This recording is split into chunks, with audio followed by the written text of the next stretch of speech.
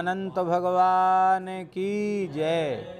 सूत उवाच पुरा तु जाह्नवी तीरे धर्मो धर्म पराक्रम। जरासंद पदार्थाय राजसूयमकल्पयत् कृष्णेन सह धर्मोसु भीमार्जुन समन्विता। यज्ञशालां प्रकुर्वीत, नानात्नोपशोभितां। मुक्ताफलसमाकीर्णं महेन्द्रालयसन्निभां यज्ञार्थं भूपतीन् सर्वान् प्रयत्नतः।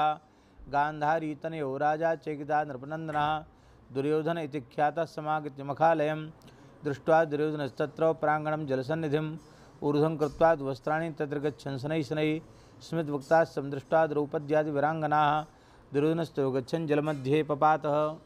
कहते, प्राचीन समय में गंगा जी के तट पर धर्मराज युधिष्ठिर ने जरासंध के वध के लिए राजसु यज्ञ आरंभ किया। भगवान श्री कृष्ण वहाँ विराजमान थे। भीमसेन अर्जुन भाइयों के सहित बहुत सुंदर रत्नादि से जटित जो है यज्ञशाला बनवाई गई थी और उसमें संपूर्ण राजाओं को जीत करके, पांडव चारों दिशाओं को जीत करके वहाँ से राजाओं को ले करके आए थे। उसी सभा में गांधारी धृतराष्ट्र पुत्र दुर्योधन यज्ञशाला में आया और प्रांगण में जल की प्रतिमा देखकर वस्त्र को ऊँचा करके धीरे धीरे चलने लगा। ये देख करके मैंने थल को ही जल मान करके कपड़े ऊपर उठाकर चलने लगा तो द्रौपदी आदि श्रेष्ठ स्त्रियाँ हंसने लगीं। दुर्योधन आगे जल को भूमि जान करके उसमें गिर गया। यह देख करके राजा लोग और द्रौपदी ये सब हंसने लगी। यह देखकर महाराजा दुर्योधन अत्यंत क्रोधित हुआ और शकुनी अपने मामा शकुनी के साथ अपने राज्य में जाने के लिए उद्यत हुआ। उस समय शकुनी ने कहा कि देखो बहुत काम आगे करना है, इसलिए इस महाक्रोध का आप त्याग करें। हे राजेंद्र, यज्ञशाला से अपने घर जाने के लिए उठिए। ऐसा ही सही कह करके दुर्योधन यज्ञशाला से चला आया। राजागण यज्ञशाला से अपने अपने राज्यों को चले गए और दुर्योधन ने हस्तिनापुर जा कर के राजा पांडु के श्रेष्ठ प्रद्युष्टर को जूत क्रीड़ा के लिए, जुआ के लिए आमंत्रित किया। और छल पूर्वक जुए में उनका संपूर्ण राज्य हरण कर लिया। और भगवान श्री भगवान श्री कृष्ण के प्यारे भक्त पांडव जो है अपने पाँचों पांडव द्रौपदी के सहित इसी काम्यक वन में जहाँ हम लोग बैठे हैं, इसी काम वन के क्षेत्र में जंगली वंचर भिल्लादि के बीच में यहाँ रहने लगे। बहुत विपन्न अवस्था में रह रहे थे। भगवान श्री कृष्ण ने जब यह जाना कि पांडव काम्यक वन में विराजे हुए हैं तो भगवान श्री कृष्ण द्वारिका से इस काम्यक वन में, काम वन में आए और अरण्य वर्तमानास्ते पांडवा दुखकृषा कृष्णाम दृष्टा महात्मान प्रणिपत्य था क्रमम। कहते हैं, उस जंगल में देख करके बहुत दुख हुआ। राजा युधिष्ठिर से बोले, युधिष्ठिर ने कहा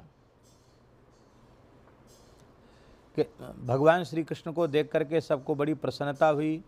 पांडवों को द्रौपदी के साथ दुखी देख करके भगवान श्री कृष्ण के मन में भी बड़ी पीड़ा हुई।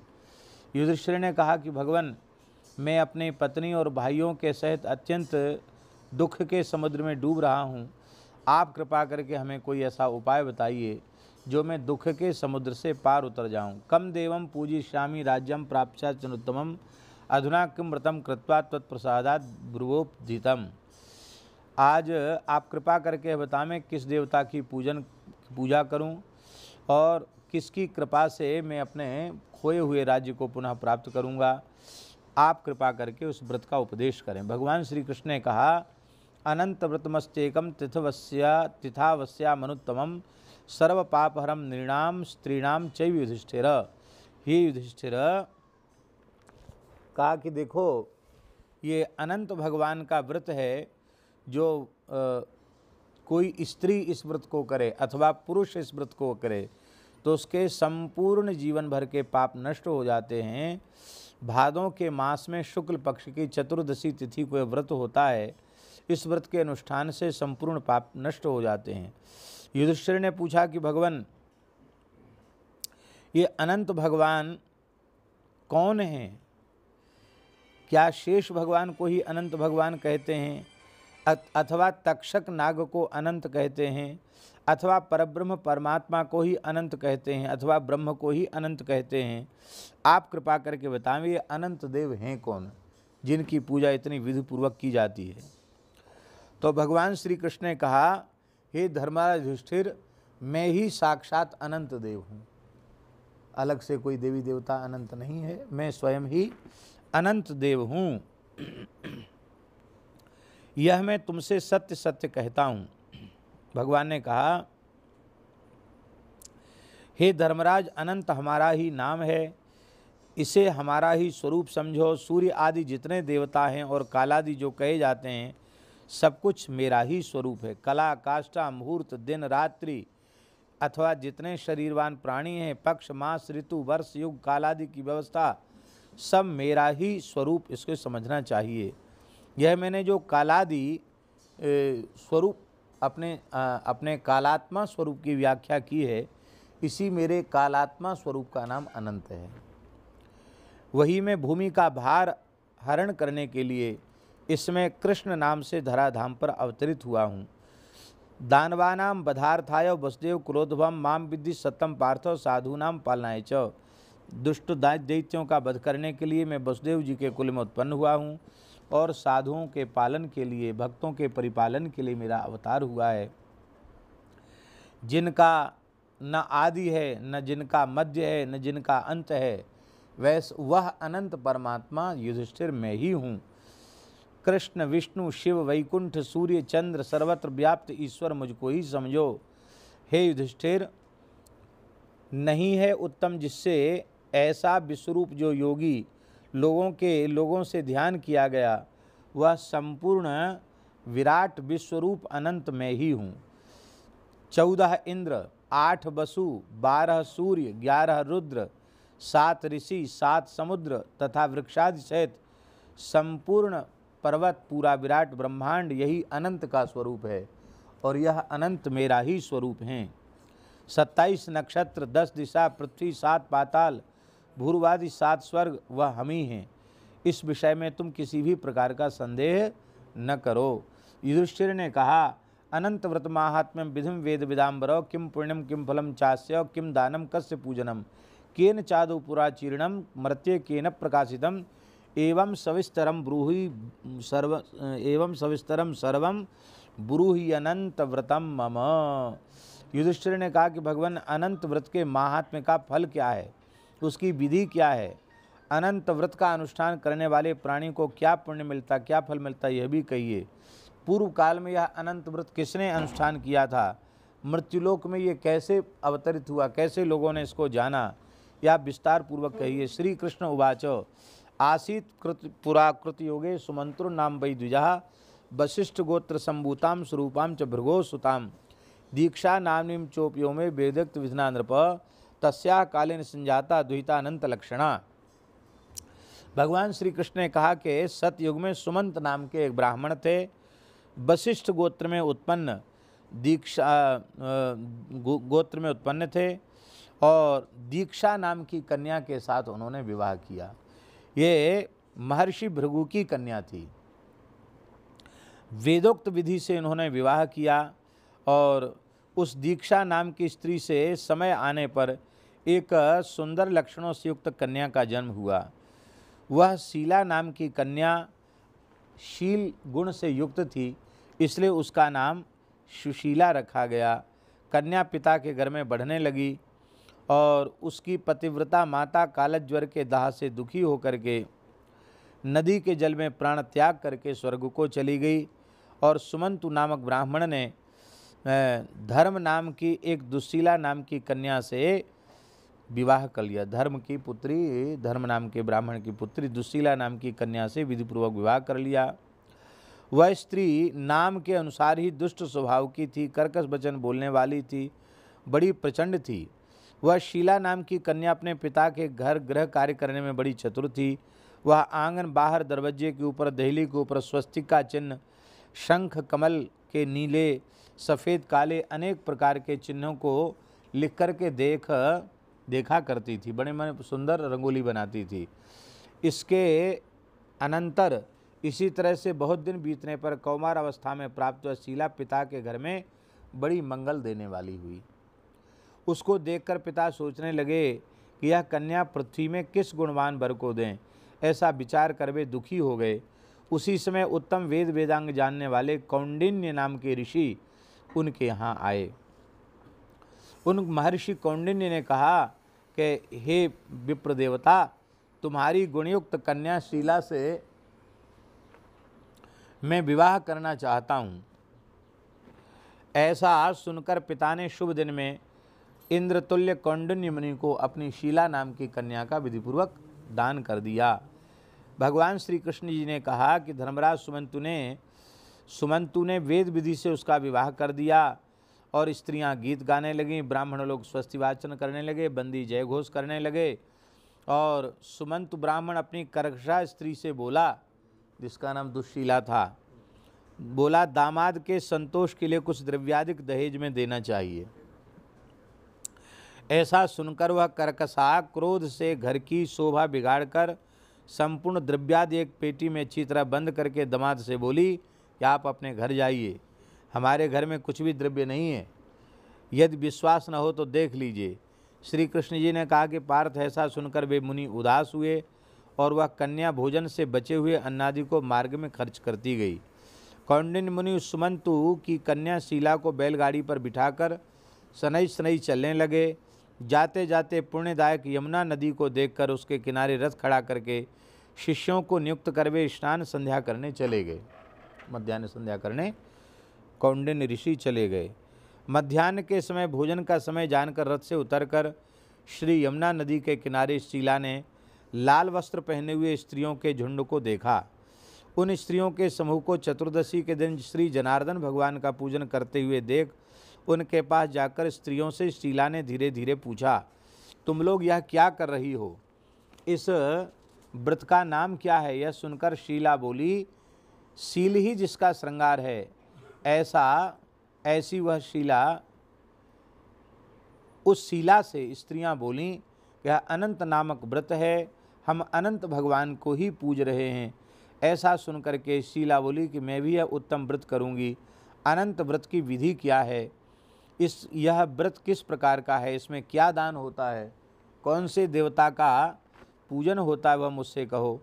ऐसा सुनकर के स्त्रियाँ बोलें कि, हे शीले उत्तम अन्न को प्रस्थ मात्र मन एक शेर अन्न। लेकर मालपुआ आदि पकवान बनाकर आधा ब्राह्मण को दे दे और आधा स्वयं भोजन करें। इसका मतलब आधा शेर पुआ खाने का विधान है। एक शेर पुआ बनावे, आधा ब्राह्मण को आधा खा जाए। फिर कृपणता न करते हुए शक्ति के अनुसार दक्षिणा देवे, कंजूसी न करे, दक्षिणा देवे। यह व्रत नदी के तीर पर करे। भगवान हरि की कथा सुने, इसलिए यमुना जी को आह्वान करके यमुना जी को प्रतिष्ठित कर दिया जाता है।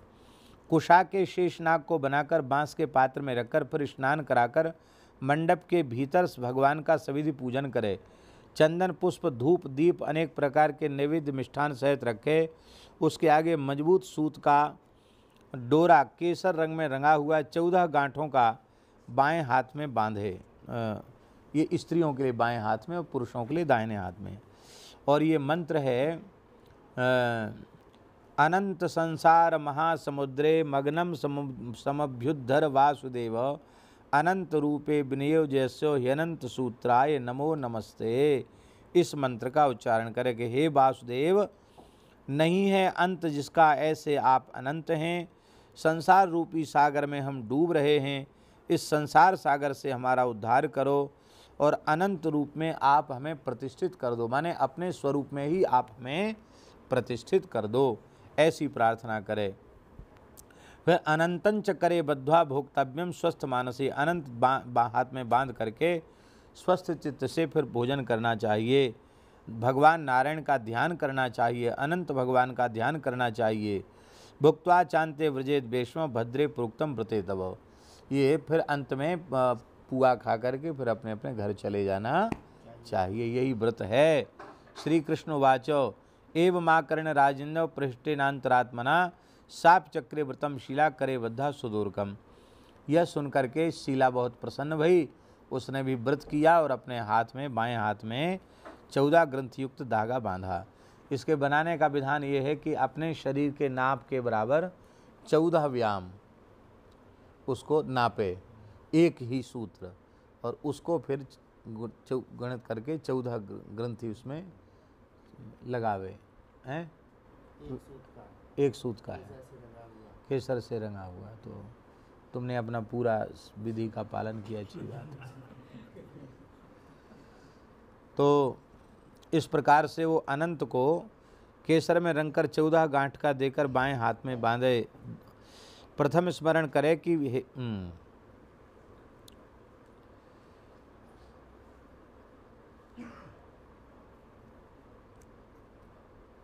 और उसने भी पुआ जो है लिए और पुआ लेकर के आधे ले लिए, आधे ब्राह्मण को दे दिए। अवशिष्ट खाकर प्रसन्न हो गई और पति के साथ बैलगाड़ी में बैठ और पति तब तक संध्या पूजा करते रह गए। और शुभ शक्नों से उसको विश्वास हो गया कि अब तो हमारे दिन सुधर गए। अनंत भगवान की कृपा हो गई। वह अनंत भगवान का व्रत करने से गोधन से युक्त हो गई। खूब गायें उसको बढ़ गई। धन धान्यादि से घर पर पूर्ण हो गया। वह सोने में ग्रथित माणिक्य मोतियों के हारों से भूषित रहने लगी और इतना उसके पास समृद्धि बढ़ गई, शीला के पास के अतिथियों को खूब सत्कार करती थी। सुख से रह करके मणियुक्त करधनी और मालाओं से अंकृत होकर के सावित्री के समान शोभा पाने लगी। एक समय की बात है कौंडिन्य ऋषि ने बाएँ हाथ में शीला के वो अनंत जो सूत्र बांधा था उसको देख लिया। देखते ही वे क्रोध से बोले कि, अरे, ये डोरा क्यों बाँध लिया है? क्या मेरे ऊपर बसीकरण करने के लिए डोरा बाँध रखा है? ये कौंडिन्य ऋषि ने कहा। इसका कारण कहो।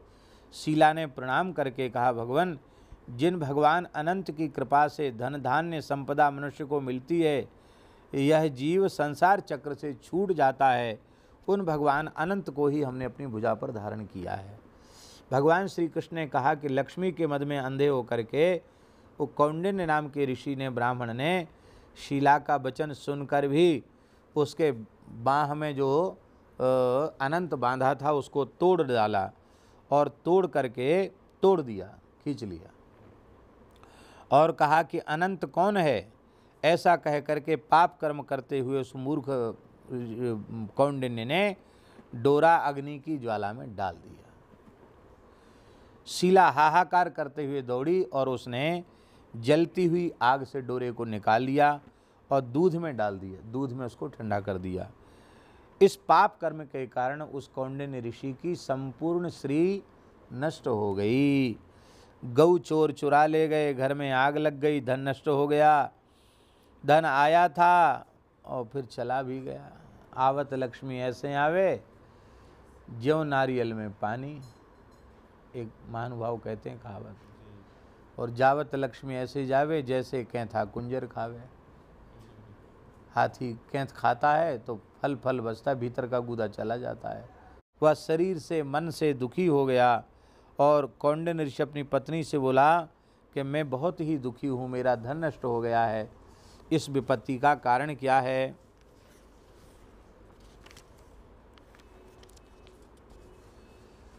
स्वजनों से कलय होती है, मेरे शरीर में ज्वर आदि ताप बना रहता है, चित्त में खेद रहता है, इसका कारण क्या है तुम जानती हो तो कहो। क्या उपाय है जिससे मेरा भाग्य अच्छा हो? ऐसा सुनकर शील ही भूषण है जिसका। ऐसा शीला ने कहा कि अनंत भगवान के सूत्र को फेंक देने का, अपमान करने का ही यह दुष्परिणाम है। इसके लिए उपाय करें, भगवान अनंत की शरण में जाएँ। अब तो ब्राह्मण समझ गया कि भगवान अनंत का तिरस्कार है। दुखी होकर के वो भगवान अनंत की शरण में गया। कौंडिन्य मुनि खेद से प्राप्त होकर के वन में गए और वायु का भक्षण करके कठोर तपस्या करने लगे। भगवान परमेश्वर का ध्यान करने लगे। जिन भगवान अनंत की कृपा से मुझे सब कुछ मिला और आज जिनके अपमान से मैं सब कुछ से हीन हो गया, कष्ट के समुद्र में डूब गया, वो अनंत भगवान मेरे अपराध को क्षमा करें मेरे ऊपर कृपा करें, ऐसा कह करके वन में विचरने लगा। वहीं पर तत्रा पश्यत महाचूतम पुष्पितम फलितम ध्रुवम वर्जितम पक्षी संघाति कीट कोटि समावृतम। वहाँ बहुत ध्यान से सुने, वहाँ फूला हुआ एक आम का वृक्ष देखा। वह ऐसा था कि जिस पर एक भी पक्षी नहीं थे और करोड़ों कीड़े थे, ऐसा एक आम का पेड़ देखा। उसने कौंडिन ऋषि ने आम के वृक्ष से पूछा कि कहीं भगवान अनंत को तुमने देखा हो तो बताओ, क्योंकि मेरे चित्त में बहुत दुख है। यह सुनकर के आम का वृक्ष बोला कि हे ब्राह्मण, मैंने अनंत भगवान को नहीं देखा। यह सुनकर के दुखी होकर के कौंडिन्य ऋषि चल पड़ा और भगवान अनंत का दर्शन कहाँ होगा? इस विचार से व्याकुल हो गया। इतने में उसके, उसको एक बछड़े के सहित गाय दिखाई पड़ी, सवत्सा गाय दिखाई पड़ी, जो बन के मध्य इधर उधर अटखेलियाँ कर रही थी। तो ब्राह्मण ने गाय से को प्रणाम करके पूछा कि, हे गौ माता, आप कृपा करके बताओ भगवान अनंत कहाँ हैं? गाय ने कहा कि, मैं भी अनंत भगवान का पता नहीं बता सकती हूँ। उसके बाद आगे जा कर के घास पर बैठे हुए वृषभ को देखा तो वृषभ को प्रणाम करके कौंडिन्य ऋषि ने पूछा कि, हे वृषभ, आप तो धर्म के स्वरूप हैं, आपने भगवान अनंत को देखा है क्या? वृषभ बोला कि हे ब्राह्मण, मैंने अनंत भगवान को नहीं देखा है। आगे ब्राह्मण बढ़े तो उन्हें दो पुष्करणी दिखाई पड़ी। दुष् पुष्करणी माने छोटे तालाब। वो दिखाई पड़े। उन बावलियों का जल उनमें से, इसमें से, उसमें आ रहा था, उसमें से, उसमें आ रहा दोनों परस्पर मिल रही थी। और उसमें कमल, कल्हार, कुमुदनी आदि सुंदर पुष्प खिले हुए थे। भौरा, हंस, चकोर, बगुला आदि पक्षी उन बापियों में सुशोभित थे। ब्राह्मण ने दोनों पुष्करणियों से पूछा कि तुम बताओ भगवान अनंत को तुमने कहीं देखा है? यह सुन करके पुष्करणियों ने कहा कि हमने भी भगवान अनंत को नहीं देखा है। आगे बढ़े, बहुत ध्यान से सुने। आगे जा कर के एक हाथी दिखाई पड़ा और फिर एक गधा दिखाई पड़ा। हाथी से भी पूछा और गधे से भी पूछा, लेकिन उन्होंने भी कह दिया कि हम अनंत भगवान का पता नहीं जानते हैं। अब तो कौंडिन्य ऋषि जीवन से निराश होकर के विकल होते हुए ऊर्ध्वबाहु होकर के ऊर्ध श्वास चलने लगी और वे मूर्छित होकर के गिर पड़े। जब वे होश में आए तो भगवान अनंत को पुकार करके कहा कि, हे अनंत, मेरे इस अनंत अपराध को क्षमा करो और यदि आप दर्शन नहीं देंगे तो मैं अपने प्राणों का ही परित्याग कर दूँगा। भगवान कृष्ण ने कहा कि उस ब्राह्मण ने प्राण देने के लिए वृक्ष में अपना ही गमछा बाँध करके निश्चय कर लिया कि मैं तो प्राण ही दे दूँगा, भगवान नहीं मिले तो। पर यह कथा सुन के कोई से फांसी मत लगा लेना। उसी समय दयार्द्र भगवान अनंत जो है, उसी ब्राह्मण की व्याकुलता को सुन करके प्रत्यक्ष हो गए। वृद्ध ब्राह्मण का रूप धारण करके भगवान प्रकट हुए। भगवान या तो वृद्ध ब्राह्मण के रूप में प्रकट होते हैं या चतुर्थाश्रमी सन्यासी के रूप में प्रकट होते हैं, क्योंकि वर्णों में प्रथम ब्राह्मण भगवान की विभूति है और आश्रमों में चतुर्थाश्रम भगवान की विभूति है। इसलिए या तो यति रूप में भगवान आएँगे या वृद्ध ब्राह्मण के रूप में आएँगे। वृद्ध ब्राह्मण क्यों? बालक और जवान क्यों नहीं? बालक जवान पे भरोसा नहीं करना चाहिए। बड़ा बूढ़ा परिपक्व होता है सब, इसलिए वृद्ध ब्राह्मण के रूप में भगवान आते हैं। कौंडिन्य का हाथ पकड़ करके भगवान गुफा में ले गए। उस गुफा के भीतर कौंडिन्य मुनि ने प्रवेश किया तो देखा बड़ा विशाल नगर है। बड़े ही रूपवान स्त्री पुरुष उसमें विद्यमान हैं और भगवान अनंत एक दिव्य रत्नमय सिंहासन पर विराजमान हैं। भगवान अनंत के निकट में शंख, चक्र, गदा, पद्म शोभायमान हो रहे हैं। गरुड़ जी की बड़ी शोभा हो रही है। कौस्तु मणि और बनमाला धारण किए हुए भगवान अनंत की शोभा को देख करके कौंडिन मुनि मुग्ध हो गए। साष्टांग प्रणाम करके ऊँचे स्वर से बोले कि हे भगवान, आप हमारी रक्षा करो। तम दृष्टवा देव देवेशम अनंतम अपराजितम वंदमानो जगादो चिर जय शब्द पुरस्रम और उस समय ये जो श्लोक बहुत प्रसिद्ध है, आप सबको याद ही है, इस श्लोक से उन्होंने स्तुति की। पापो हम पाप कर्मा हम पापात्मा पाप संभवा त्राही माम पुंडरी काक्ष सर्व पाप हरो भव। ऐसा सुन करके भगवान बड़ी मीठी वाणी में बोले कि तुम भय मत करो, तुम्हारे मन में जो बात हो, वो तुम बता दो। बोलो, भक्तवत्सल भगवान की जय। कौंडिन्य महर्षि ने कहा कि भगवान, मैंने धन के मद में मतवाले हो करके आपका जो प्रत्यक्ष स्वरूप अनंत है उस अनंत को तोड़ दिया था। उसी पाप कर्म से मैं श्रीहीन हो गया। हमारे घर में कला होती मुझसे कोई बोलता नहीं है। मैं आपके दर्शन के लिए जंग बनों में भटक रहा हूँ। आप कृपा करके आपने अपना मंगलमय दर्शन हमें प्रदान किया। अब आप हमें जो हमने पाप कर, कर्म किया, उसकी शांति का उपाय बताइए। बाप तो बन गया हमसे। आपके धागे का तिरस्कार हमने कर दिया। अब उसका उपाय हमको बताइए। तो भगवान भगवान अनंत ने कहा कि हे कौंडिन्य ऋषि, तुम विलम्ब मत करो, अपने घर चले जाओ और चौदह वर्षों तक अनंत व्रत करो। वैसे तो अनंत व्रत जीवन पर्यंत करना चाहिए, लेकिन चौदह वर्षों तक तो लगातार करना चाहिए। चौदह वर्ष करे और चौदह वर्ष के बाद उद्यापन करे, उद्यापन के बाद फिर शुरू कर सकता है। इससे संपूर्ण पापों से मुक्त होकर संसार के सभी अभिष्ट पुत्र पौत्रादिकों को प्राप्त करके अंत में मेरे नित्य धाम को प्राप्त करता है। ऐसा इस व्रत का प्रभाव है। अन्ते मत स्मरण प्राप्य मामुपैश्य संशय अन्यचिते वरम ददमी सर्वलोकोपकारकम। अंत में तुम हमारा जो इस व्रत को करता है, अंत में मृत्यु के समय मुझ उसे मेरी याद अवश्य आ जाती है। और वह मुझे ही प्राप्त होता है, इसमें कोई संदेह नहीं है। और मैं भी तुम्हें प्रसन्न होकर के दूसरा वरदान अपनी ओर से दे रहा हूँ। यह अनंत व्रत जो करेगा, वह संपूर्ण पापों से मुक्त होकर के संपूर्ण अभिष्टों को प्राप्त कर लेगा। तो कौंडेन ऋषि ने कहा कि, भगवान, आपने बड़ी कृपा की, हमें बड़ी शांति मिल गई है।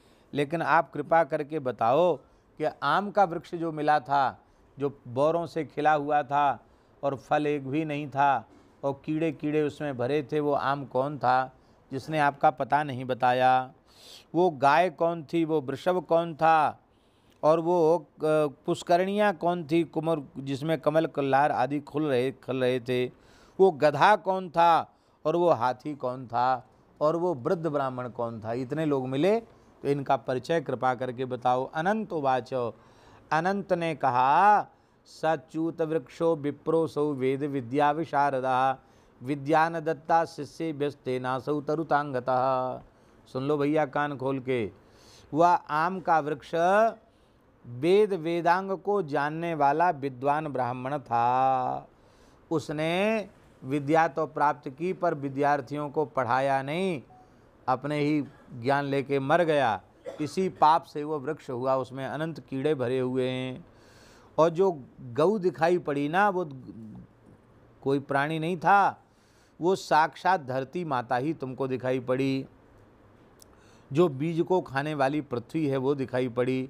और जो वृषभ देखा था, वो सत्य परायण साक्षात धर्म ही वो वृषभ था। और धर्म अधर्म, ये जो पुष्करणी थी ना, वो परस्पर लेती देती रहती हैं। ये वेद पाठ करने वाले ब्राह्मणों को नहीं दिया, भिक्षुओं को नहीं दिया। उस पाप कर्म के कारण और आपस में वो पुष्करणी हो गई, उनका जल इधर से उधर होता रहता है। और जो गधा दिखाई पड़ा, वो क्रोध ही था। और जो हाथी दिखाई पड़ा, वो साक्षात अभिमान था। और जो वृद्ध ब्राह्मण दिखाई पड़ा, वो दूसरा कोई नहीं, वो साक्षात मैं ही हूँ। समझे? ये सब बता दिया। और जो गुफा हमने तुमको हाथ पकड़ के ले गई, गुफा कोई दूसरी नहीं है, ये संसार ही गुफा है।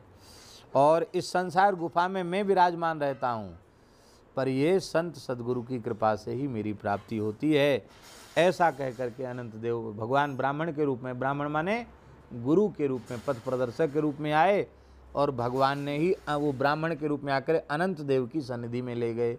अर्थात भगवान ही गुरु रूप में हाथ पकड़ कर के जीव को भगवान की नित्य सन्निधि प्रदान कराते हैं। ये बात बताई। अब तो भगवान अंतर्धान हो गए और उन कौंडिन ऋषि ने देखा कि जैसे स्वप्न से जगने के बाद स्वप्न के शब्द से तिरोहित हो जाते हैं, ऐसी जो कुछ देखा था वो सब पता नहीं कहाँ चला गया। वे विस्मित होकर के अपने घर को आ गए और आकर के चौदह वर्षों तक उन्होंने अनंत व्रत किया। अंत में सुखभोग करके और भगवान अनंत के नित्य धाम गोलोक में चले गए। हे राजर्षि, यह कथा तुम भी, हे राजर्षि युधिष्ठिर, तुम भी इस व्रत को करो और इसकी कथा सुनो, व्रत करो। ब्राह्मण को चौदह वर्ष में जो फल प्राप्त हुआ है, तुमको भी एक ही वर्ष में कथा सुनकर सब कुछ प्राप्त हो जाएगा, भगवान ने युधिष्ठिर को कहा। व्रतों में उत्तम व्रत जिसको सुन करके सब प्राणी पापों से छूट जाते हैं। कुरुकुल में उत्पन्न युधिष्ठिर जो शुद्ध विचार वाले प्राणी संसार रूपी गुफा में सुख से फिरने की इच्छा करते हैं, उनको तीनों लोगों के स्वामी अनंत भगवान का पूजन करना चाहिए और अनंत भगवान का साक्षात स्वरूप जो अनंत सूत्र है, उसको दाहिने हाथ में बांधना चाहिए। बोलो श्री अनंत भगवान की जय। और पांडवों ने इस प्रकार से व्रत किया और फिर वो चक्रवर्ती सम्राट हो गए। भगवान ने कृपा करके बताया ये अनंत व्रत हमारे सनातन धर्म का प्राचीन व्रत है। पूज्य गुरु जी कहते थे, अनंत धारण करने वाले को वर्ष भर में अकाल मृत्यु नहीं होती है। कोई संकट आएगा भी तो टल जाएगा। अकाल मृत्यु क्योंकि कालात्मा भगवान का ये स्वरूप है और उसको सर्प दंशन नहीं करता है। श्रद्धा पूर्वक अनंत धारण करने वाले को जहर भी कोई दे दे तो बच जाएगा, मरेगा नहीं। अनंत भगवान सब प्रकार से उसकी रक्षा करते हैं, संपूर्ण अभिष्टों की पूर्ति करते हैं। बस विधा, विधि ये है कि अनंत व्रत करे और फिर धारण करे तो वर्ष भर वो हाथ में रहना ही चाहिए, उसको बीच में उतारना नहीं चाहिए, शरीर से पृथक नहीं करना चाहिए। जनेऊ तो खंडित हो जाएगा और उसमें बदल दिया जाएगा, लेकिन ये तो साल भर पीछे ही परिवर्तित होगा। यही अनंत व्रत की कथा है। बोलो, श्री अनंत राम कृष्ण की प्यारी गैया, सारे जग की माता है।